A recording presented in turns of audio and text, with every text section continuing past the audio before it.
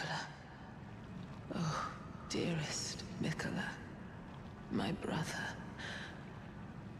I'm sorry. I finally met my match.